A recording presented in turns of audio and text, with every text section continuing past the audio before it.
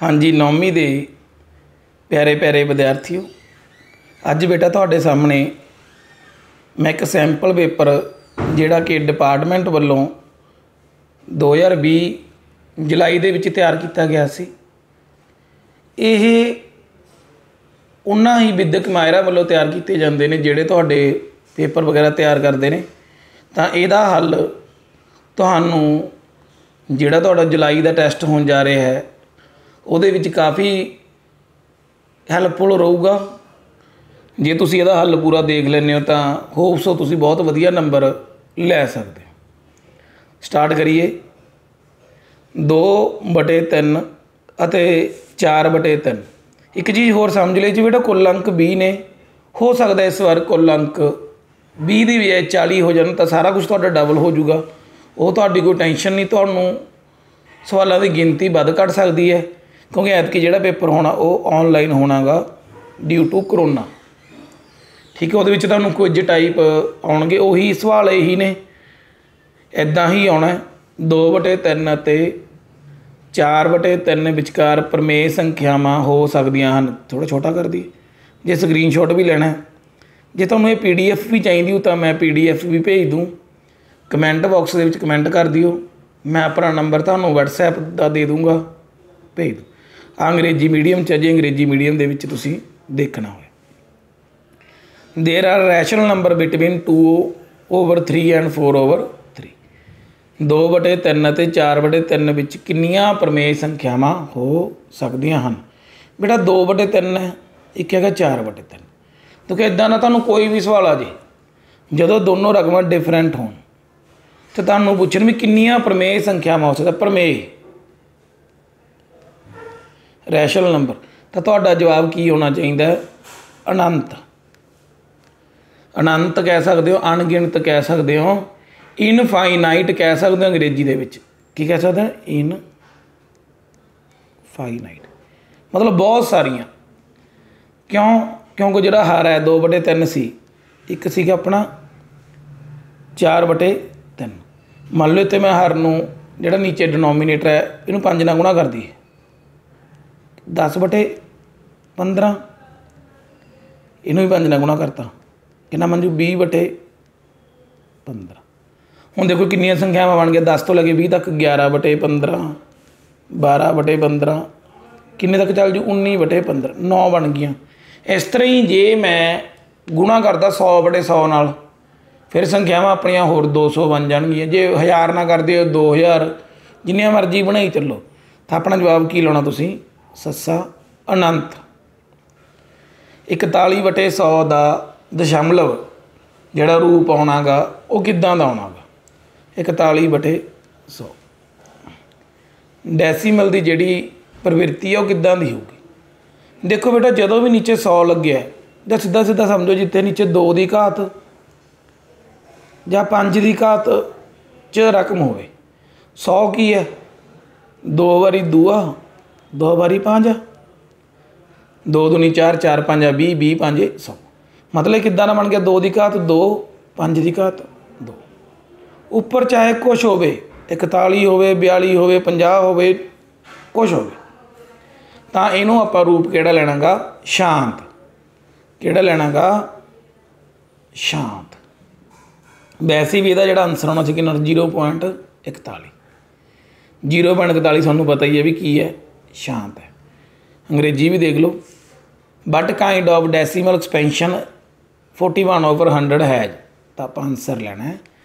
Terminating right the power of polynomial 3x ਦੀ 4 7x 2 ਇਹਦੇ ਵਿੱਚ ਪਾਵਰ ਦੱਸਣੀ ਹੈ ਇਸ ਪੋਲੀਨੋਮੀਅਲ ਦੀ। ਪੰਜਾਬੀ 'ਚ ਦੇਖੀਏ, ਕੋਈ ਵੱਧ ਬੱਚੇ ਪੰਜਾਬੀ ਵਾਲੀ ਨੇ।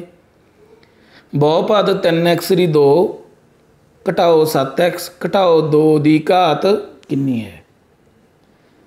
ਇਹ ਨਾ YouTube ਦੀ ਕਈ ਵਾਰੀ ਪ੍ਰੋਬਲਮ ਹੈ, ਇੱਥੋਂ ਤੁਸੀਂ ਇਹ ਤਿੰਨ ਬਿੰਦੀਆਂ ਹੁੰਦੀਆਂ ਨੇ। ਜੇ ਬਾਈ ਚਾਂਸ ਤੁਹਾਨੂੰ ਲੱਗੇ ਵੀ PDF ਕਲੀਅਰ ਨਹੀਂ ਹੈਗੀ ਵੀਡੀਓ ਕਲੀਅਰ ਨਹੀਂ ਹੈਗੀ, ਤਾਂ ਤੁਸੀਂ ਇੱਥੋਂ ਇਨਕਰੀਜ਼ ਕਰ ਸਕਦੇ ਹੋ। ਉੱਥੋਂ ਕਰਕੇ ਹਾਇਰ ਡਾਟਾ ਕਰ ਲਿਆ ਕਰੋ। ਤਾਂ ਇੱਥੇ ਬੇਟਾ, ਬਹੁਪਦ ਦੀ ਘਾਤ ਕੀ ਹੁੰਦੀ ਹੈ? ਜਿਵੇਂ ਆ ਬੇਟਾ, ਆਪਣੇ ਜਿਹੜੇ ਨੰਬਰ ਨੇ ਐਕਸਾਂ ਵਾਈਆਂ ਇਹਦੇ ਵਿੱਚ ਸਭ ਤੋਂ ਵੱਡੀ ਪਾਵਰ ਦੇਖੋ ਕਿੰਨੀ ਹੈ?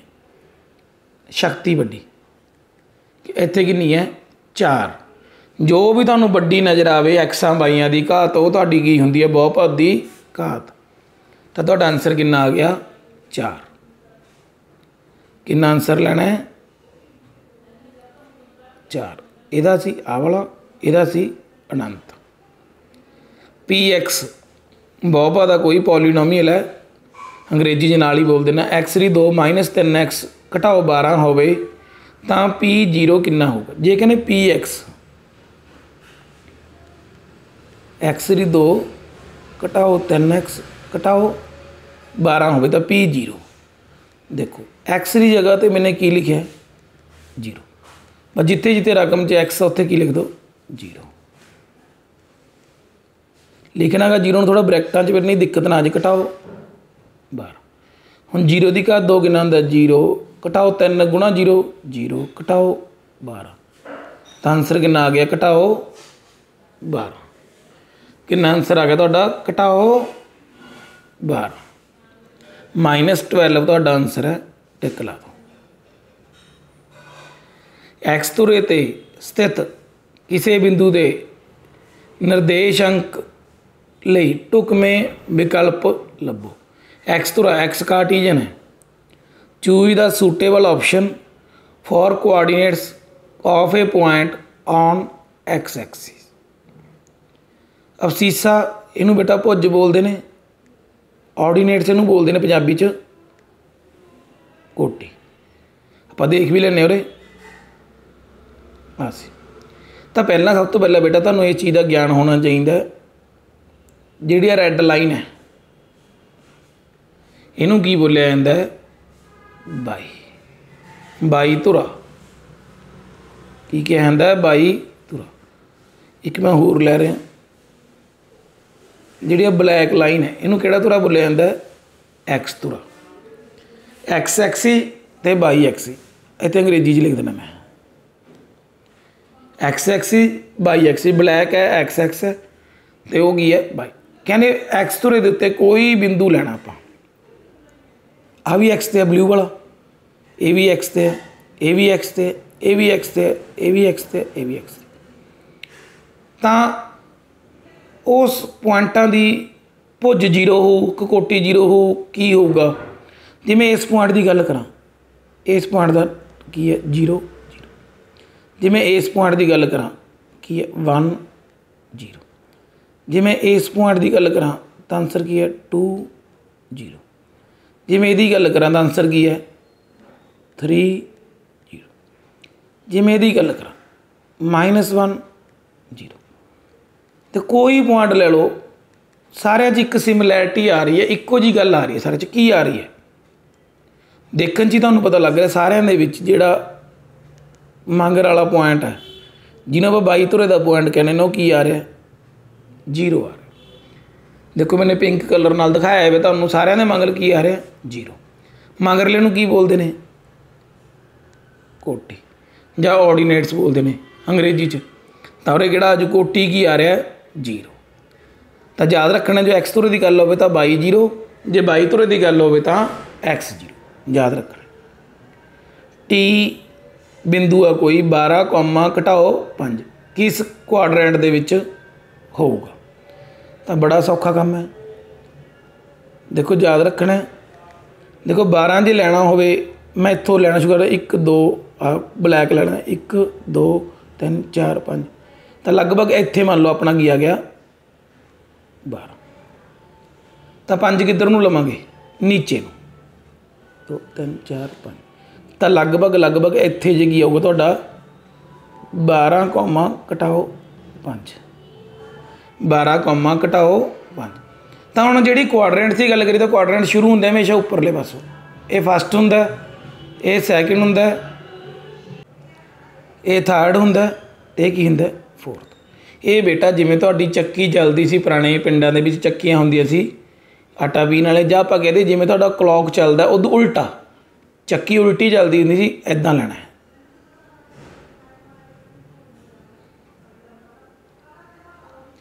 ਤਾਂ ਪਹਿਲਾ ਕੁਆਡਰੈਂਟ ਸੀ, ਇੱਥੋਂ ਸ਼ੁਰੂ ਹੋ ਕੇ ਜਿੱਥੇ ਦੋਨੋਂ ਕੀ ਹੁੰਦੇ ਨੇ ਪਲੱਸ ਦੇ ਹੁੰਦੇ ਨੇ, ਉਸ ਤੋਂ ਬਾਅਦ ਇੱਧਰ ਕੀ ਹੁੰਦਾ ਠੀਕ ਹੈ ਤਾਂ ਆਪਣਾ ਜਿਹੜਾ 12,5 ਹੈ ਕਿਹੜੇ ਕੁਆਡਰੈਂਟ ਚ ਆ ਰਿਹਾ? ਹੈ ਫੋਰਥ ਚ। ਤਾਂ ਆਪਾਂ ਆਨਸਰ ਕੀ ਲੈਣਾ ਹੈ? ਫੋਰਥ ਬਾਕੀ ਤੁਸੀਂ ਮੇਰੀ ਇਹ ਵਾਲੇ ਸਾਰੇ ਚੈਪਟਰ ਦੀ ਵੀਡੀਓ ਬਣੀ ਵੀ ਹੈ ਤੁਸੀਂ ਕੱਲਾ ਕੱਲਾ ਚੈਪਟਰ ਦੇਖ ਕੇ ਚੰਗੀ ਤਰ੍ਹਾਂ ਸਮਝ ਵੀ ਸਕਦੇ ਹੋ। ਇੱਕ ਬਿੰਦੂ ਤੋਂ ਦੂਸਰੇ ਬਿੰਦੂ ਤੱਕ ਇੱਕ ਸਿੱਧੀ ਰੇਖਾ ਖਿੱਚੀ ਜਾ ਸਕਦੀ ਹੈ। ਮੰਨ ਲਓ ਇੱਕ ਪੁਆਇੰਟ ਹੈ ਇੱਕ ਰੈੱਡ ਪੁਆਇੰਟ ਹੈ। ਕਹਿੰਦੇ ਇਹਦੇ ਤੱਕ ਇੱਕ ਸਿੱਧੀ ਰੇਖਾ ਖਿੱਚੀ ਜਾ ਸਕਦੀ ਹੈ। ਇਹ ਤਾਂ ਖਿੱਚੀ ਜਾ ਹੀ ਸਕਦੀ ਹੈ ਸਿੱਧੀ ਰੇਖਾ।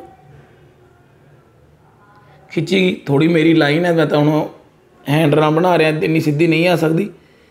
ਤਾਂ ਕੀ ਕਹੇ, ਸਰ, ਇੱਕ ਸਿੱਧੀ ਰੇਖਾ ਖਿੱਚੀ ਜਾ ਸਕਦੀ ਹੈ। ਕਥਨ ਕੀ ਹੈ? ਸਹੀ ਹੈ। ਕਿਸੇ ਬਿੰਦੂ ਦੀ ਭੁਜ ਭੁਜ ਮਤਲਬ x ਜਿਹਨੂੰ ਕੀ ਬੋਲਦੇ ਨੇ ਅਫਸੀਸ ਬਿੰਦੂ ਦਾ ਕੀ ਹੁੰਦੀ ਹੈ? X ਨਿਰਦੇਸ਼ਾਂਕ। ਪੁੱਜ ਕੀ ਹੁੰਦੀ ਹੈ?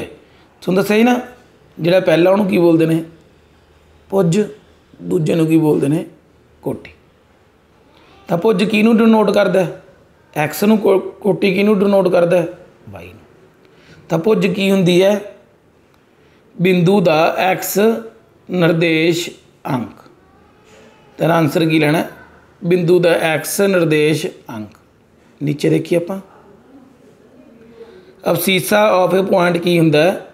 ਪਹਿਲਾਂ ਵੀ ਦੱਸਿਆ ਮੈਨੇ, x coordinate of the point ਉਸ ਤੋਂ ਬਾਅਦ ਜਿਹੜੇ ਆ ਚਾਰ ਪੁਆਇੰਟ ਨੇ ਬੇਟਾ, ਇਹਨਾਂ ਨੂੰ ਤੁਸੀਂ ਆਪਦੇ ਗ੍ਰਾਫ ਪੇਪਰ ਦੇ ਉੱਤੇ ਦਿਖਾਉਣਾ। ਬਸ ਇਦਾਂ ਨਾ ਤੁਹਾਨੂੰ, ਇਸ ਪੇਪਰ ਦੇ ਵਿੱਚ ਤਾਂ ਨਹੀਂ ਆਊਗਾ ਕਾਰਨ ਕੀ ਹੈ? ਆਨਲਾਈਨ ਹੋਣਾਗਾ।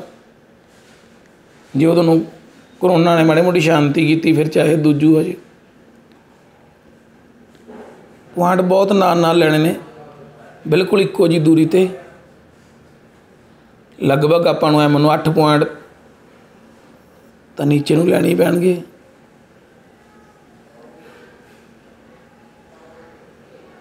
ਇਸ ਤਰ੍ਹਾਂ ਬੇਟਾ ਤੁਸੀਂ ਬਰਾਬਰ ਬਰਾਬਰ ਦੂਰੀ ਤੇ ਲੈ ਲੈਣੇ ਨੇ। ਮੈਂ ਹੋ ਸਕਦਾ ਬਰਾਬਰ ਦੂਰੀ ਤੇ ਨਾਲ ਤੇ 5,8 ਕਿੱਥੇ ਆਊਗਾ? 5,8 ਲਗਭਗ ਇੱਥੇ। ਮੈਂ ਤੁਹਾਨੂੰ ਹਿੰਟ ਜੇ ਦੇ ਦਿੰਨਾ। ਉਸ ਤਰ੍ਹਾਂ ਪੁੱਛਿਆ ਇਹਨਾਂ ਨੇ 2, ਘਟਾਓ 9 2 ਪਹਿਲਾਂ ਇੱਧਰ ਨੂੰ ਜਾਣਾ ਫਿਰ ਘਟਾਓ 9 ਨੀਚੇ ਨੂੰ ਜਾਣਾ। ਲਗਭਗ ਇੱਥੇ ਆ ਜੂ ਤੁਹਾਡਾ 2, ਘਟਾਓ 9 ਇਸ ਤਰ੍ਹਾਂ ਹੀ ਤੁਸੀਂ ਬਾਕੀ ਦੇ ਪੁਆਇੰਟ ਵੀ ਬਣਾ ਲੈਣਾ ਘਟਾਓ 6 1 ਘਟਾਓ 6 ਪਹਿਲਾਂ ਤੁਸੀਂ ਇੱਧਰ ਨੂੰ ਜਾਣਾ 6 ਪੁਆਇੰਟ ਫਿਰ ਤੁਸੀਂ ਇੱਕ ਇੱਧਰ ਨੂੰ ਜਾਣਾ? ਉੱਪਰ ਨੂੰ। ਤਾਂ ਆ ਤੁਹਾਡਾ ਜਿਹੜਾ ਬਿੰਦੂ ਆ ਗਈ ਆ ਜੂਗਾ 6 ਘਟਾਓ ਦਾ ਕੋਮਾ 1 ਇਸ ਤਰ੍ਹਾਂ ਤੁਸੀਂ ਆਪਦੇ ਚਾਰੇ ਪੁਆਇੰਟ ਲੈਣੇ, ਇੱਕ -4 ਵਾਲਾ ਨਜ਼ਰ ਆ ਰਿਹਾ। ਉਹਦੇ ਨੀਚੇ ਉੱਪਰ ਮੇਰੇ ਤੋਂ ਲਾਈਨ ਲੱਗ ਗਈ, ਉਹ ਦੇਖ ਨਹੀਂ ਰਿਹਾ। ਠੀਕ ਹੈ ਬੇਟਾ? ਉਹਨੂੰ ਵੀ ਤੁਸੀਂ ਘਟਾਓ 4 ਇਦਾਂ ਲੈ ਕੇ ਇੱਥੇ। -2 ਆ ਤਾਂ ਇੱਥੇ ਆ ਜੂ ਘਟਾਓ 4 -2 ਸਮਝ ਗਏ ਵੈਸੇ ਤੁਹਾਨੂੰ ਆਉਣਾ ਨਹੀਂਗਾ ਪੇਪਰ 'ਚ ਇਹ 'ਚ ਤਾਂ ਨਹੀਂ ਆਉਂਦਾ। ਸਹੀ ਗਲਤ ਚੁਣੋ। ਇੱਕ ਸ਼ਾਂਤ ਰੇਖਾ ਦੋਵੇਂ ਪਾਸੇ ਨਿਸ਼ਚਿਤ ਰੂਪ ਨਾਲ ਵਧਾਈ ਜਾ ਸਕਦੀ ਹੈ। ਇਹ ਦੇਖੋ ਸਵਾਲ ਕਾਫੀ ਕਨਫਿਊਜ਼ਿੰਗ ਕਰਦਾ ਰੇਖਾ, ਜਦੋਂ ਸ਼ਬਦ ਆਉਂਦਾ ਰੇਖਾ, ਤਾਂ ਆਪਾਂ ਨੂੰ ਪਤਾ ਰੇਖਾ ਕੀ ਹੁੰਦੀ ਹੈ, ਜਿਹੜੀ ਦੋਵੇਂ ਪਾਸੇ ਵਧਾਈ ਜਾ ਸਕੇ। ਹੁਣ ਇਹਨਾਂ ਨੇ ਨਾਲ ਸ਼ਬਦ ਵਰਤਿਆ ਸ਼ਾਂਤ। ਦੇਖੋ ਸ਼ਾਂਤ ਰੇਖਾ ਕਿਹਾ ਹੈ ਰੇਖਾ ਖੰਡ ਨਹੀਂ ਆਖਿਆ। ਜਦੋਂ ਰੇਖਾ ਮਤਲਬ ਲਾਈਨ। ਜਦੋਂ ਵੀ ਲਾਈਨ ਦੀ ਗੱਲ ਆਵੇ ਤਾਂ ਤੁਸੀਂ ਕਨਫਿਊਜ਼ ਨਹੀਂ ਹੋਣਾ। ਰੇਖਾ, ਲਾਈਨ ਸ਼ਾਂਤ ਹੈ, ਨਹੀਂ ਸ਼ਾਂਤ। ਉਹ ਦੋਵੇਂ ਪਾਸੇ ਵਧਾਈ ਜਾ ਸਕਦੇ ਤਾਂ ਆਪਣਾ ਆਨਸਰ ਹੋਊਗਾ। ਸਹੀ। ਤਾਂ ਆਪਣਾ ਆਨਸਰ ਕੀ ਲੈਣਾ ਆਪਾਂ ਨੇ? ਸਹੀ ਲੈਣਾ, ਸ਼ਾਂਤ ਦਾ ਮਤਲਬ ਰੇਖਾ ਐਵੇਂ ਐਵੇਂ ਨਹੀਂ ਹੈਗੀ। ਬਬਲਿੰਗ ਨਹੀਂ ਹੋ ਰਹੀ। ਰੇਖਾ ਇੱਕ ਪ੍ਰੋਪਰ ਇੱਕ ਲਾਈਨ ਦੇ ਵਿੱਚ। ਹਾਲਾਂਕਿ ਲਾਈਨ ਹੁੰਦੀ ਨਹੀਂ, ਪਰ ਇਹਨਾਂ ਨੇ ਸ਼ਬਦ ਵਰਤੇ ਆ। ਕਨਫਿਊਜ਼ ਕਰਨ ਵਾਸਤੇ ਕਨਫਿਊਜ਼ ਨਹੀਂ ਹੋਣਾ ਆਨਸਰ ਲੈਣਾ ਸਹੀ। ਜੇ ਦੋ ਚੱਕਰ ਬਰਾਬਰ ਹਨ, ਤਾਂ ਉਹਨਾਂ ਦੇ ਅਰਧ ਵਿਆਸ ਕੀ ਹੁੰਦੇ ਨੇ? ਬਰਾਬਰ। ਇੱਕ ਚੱਕਰ ਆਗਾ, ਇੱਕ ਚੱਕਰ ਰੈਟ ਜੇ ਬੇਟਾ ਦੋਨੋਂ ਬਰਾਬਰ ਨੇ, ਤਾਂ ਦੋਨਾਂ ਦੇ ਜਿਹੜੇ ਰੇਡੀਅਸ ਨੇ, ਇਹਨੂੰ ਰੇਡੀਅਸ ਬੋਲਦੇ ਨੇ। ਤਾਂ ਦੋਨਾਂ ਦੇ ਰੇਡੀਅਸ ਵੀ ਕੀ ਹੋਣਗੇ? ਇਕੁਅਲ ਹੋਣਗੇ। ਤਾਂ ਕਥਨ ਕੀ ਹੋ ਗਿਆ? ਟਰੂ ਤਾਂ ਕਥਨ ਕੀ ਹੈ ਤੁਹਾਡਾ? ਟਰੂ ਹੈ। ਅੱਗੇ ਦੇਖੋ 3 ਪਲੱਸ ਵਰਗਮੂਲ 3 ਇਹ ਬੜਾ ਸੌਖਾ ਸਵਾਲ ਹੈ।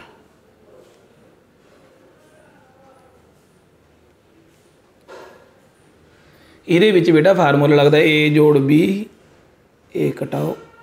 ਕੀ ਹੁੰਦਾ? A ਦੀ 2 ਘਟਾਓ, b ਦੀ। 2 a ਦੀ 2 ਘਟਾਓ, b ਦੀ। 2 3 ਦੀ 2 ਕਿੰਨਾ ਹੁੰਦਾ?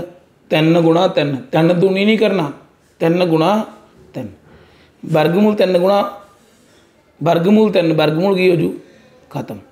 ਕਿੰਨਾ ਬਚ ਗਿਆ? 3 9 'ਚੋਂ 3 ਕੱਢੇ, ਕਿੰਨਾ ਆ ਗਿਆ? 6 ਤੇ ਤੁਹਾਡਾ ਕੀ ਆ ਗਿਆ? ਆਨਸਰ ਸਮਝ ਲੱਗ ਗਈ? ਸਕਰੀਨਸ਼ਾਟ ਲੈ ਲਓ ਅਗਲਾ ਕੀ ਹੈ? ਮੈਚਿੰਗ ਕਰਨੀ ਹੈ। ਮੈਚਿੰਗ ਤਾਂ ਬੜੀ ਸੌਖੀ ਹੈ। ਨਜ਼ਰ ਆ ਰਿਹਾ ਨਾ ਥੋੜਾ ਜਿਹਾ ਬੇਟਾ ਪੇਪਰ 'ਚ ਹੀ ਫਿੱਕਾ ਸੀਗਾ। ਇਹਦੇ ਵਿੱਚ ਆਪਾਂ ਵੀ ਕੁਝ 3 ਦੀ ਐਮ 3 ਦੀ ਐਨ ਕਿੰਨਾ ਹੋਊਗਾ? 3 ਦੀ ਐਮ 3 ਦੀ ਐਨ ਇਹ ਲਿਖਿਆ ਹੈ ਤੇ ਇਹਦਾ ਆਨਸਰ ਹੁੰਦਾ ਪੁੱਤ 3 3 3 ਇੱਕ ਐਮ ਵਾਰੀ, ਇੱਕ 3 ਕਿੰਨਾ? ਐਨ ਵਾਰੀ। ਤਾਂ ਕਿੰਨਾ ਬਣੀ 3 ਦੀ ਪਾਵਰ ਐਮ ਜੋੜ ਐਨ ਜਦੋਂ ਵੀ ਬੇਸ ਸੇਮ ਹੋਵੇ, ਆਧਾਰ ਇੱਕੋ ਜਿਹਾ ਹੋਵੇ ਤਾਂ ਘਾਤਾਂ ਦਾ ਕੀ ਹੋ ਜਾਂਦਾ? ਜੋੜ ਹੋ ਜਾਂਦਾ ਤਾਂ ਕਿਹਦੇ ਕੋਲ ਆਉ ਜੂ, ਨੀਚੇ ਵਾਲੇ। ਹੁਣ 3 ਦੀ m, ਅੱਗੇ ਪਾਵਰ ਕਿੰਨੀ ਹੈ? N ਜਦੋਂ ਪਾਵਰ ਦੀ ਪਾਵਰ ਹੋ ਜਾਂਦਾ ਘਾਤਾਂ ਦੀ ਕੀ ਹੋ ਜਾਂਦੀ ਆਪਸ ਵਿੱਚ ਗੁਣਾ ਹੋ ਜਾਂਦੀ ਹੈ। ਉਹ ਦਰਿਆ ਕਿਹੜਾ ਲੱਗ ਗਿਆ? ਹੋਰ ਹੀ ਲੱਗ ਗਿਆ। ਸੈਕਿੰਡ ਤੇ ਲਾਉਣਾ ਸੀ। 3 ਦੀ ਪਾਵਰ m, n ਧਿਆਨ ਰੱਖਣਾ, ਜਿਵੇਂ ਮੈਥੋਂ ਗਲਤ ਲੱਗ ਗਿਆ ਸੀ ਇਦਾਂ ਤੁਹਾਡੇ ਤੋਂ ਵੀ ਲੱਗ ਸਕਦਾ ਹੈ।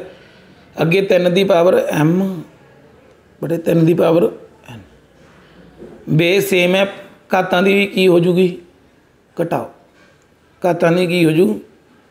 ਘਟਾਓ। ਕੀ ਬਣ ਜੂ? 3 ਦੀ ਪਾਵਰ m ਮਾਈਨਸ n ਹੁਣ ਬੇਸ ਵੱਖੋ ਵੱਖਰਾ ਹੈ, ਪਾਵਰ ਸੇਮ ਹੈ। ਕੀ ਲਿਖਿਆ? 3 ਦੀ ਪਾਵਰ m 5 ਦੀ ਪਾਵਰ m ਤਾਂ 3 ਗੁਣਾ 5 ਕਾਮਨ ਪਾਵਰ ਬਣ ਜੂ ਕੀ? m ਕਾਮਨ ਪਾਵਰ ਬਣ ਜੂ m ਤਾਂ ਤੁਸੀਂ ਇਹਨੂੰ ਸਕਰੀਨਸ਼ਾਟ ਖਿੱਚ ਲਓ। ਤੁਹਾਡੇ ਕਾਲਮ ਕਿਵੇਂ ਤੁਸੀਂ ਮੈਚ ਕਰਨੇ ਸੀ ਤੁਹਾਨੂੰ ਪਤਾ ਲੱਗ ਗਿਆ। ਠੀਕ ਹੈ ਬੇਟਾ? ਓਕੇ ਹੁਣ ਅੱਗੇ ਕਹਿੰਦੇ px ਜੇ x ਦੀ ਘਾਤ 3 ਜੋੜ 1 ਨੂੰ ਆਪਾਂ ਭਾਗ ਕਰੀਏ।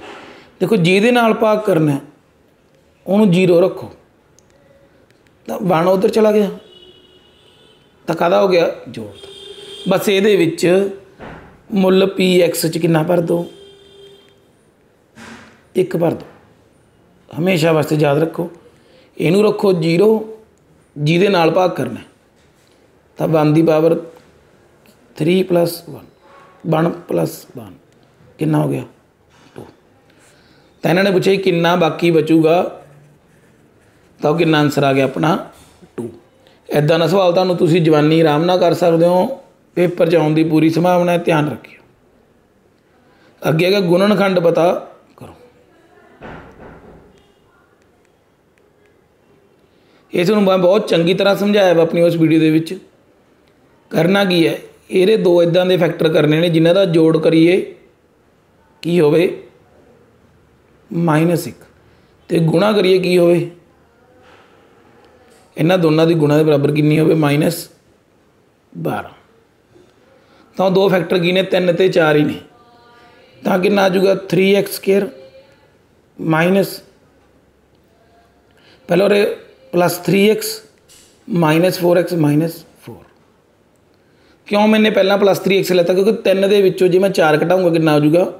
ਮਾਈਨਸ x ਤੁਹਾਨੂੰ ਹੁਣ ਕਾਮਨ ਆ ਗਿਆ 3x ਪਿੱਛੇ ਕਿੰਨਾ ਬਚ ਗਿਆ? x ਜੋੜ 1 ਮਾਈਨਸ 4 ਕਾਮਨ ਪਿੱਛੇ ਕਿੰਨਾ ਬਚ ਗਿਆ? x ਜੋੜ 1 ਬ੍ਰੈਕਟ ਬੰਦ ਤਾਂ ਇਹਨਾਂ ਦੋਨਾਂ ਚੋਂ ਕਾਮਨ ਕੀ ਨਿਕਲਦਾ ਕਿ x ਜੋੜ 1 ਪਿੱਛੇ ਕਿੰਨਾ ਬਚਿਆ 3x 4 ਤਾਂ ਤੁਹਾਡੇ ਕੀ ਬਣ ਗਏ? ਵੈਰੀ ਈਜ਼ੀ ਫੈਕਟਰ ਤੁਹਾਡੇ ਸਾਹਮਣੇ ਨੇ। ਸਕਰੀਨਸ਼ਾਟ ਲੈ ਲਓ, ਇੰਨਾ ਕੀ ਕੰਮ ਹੈ।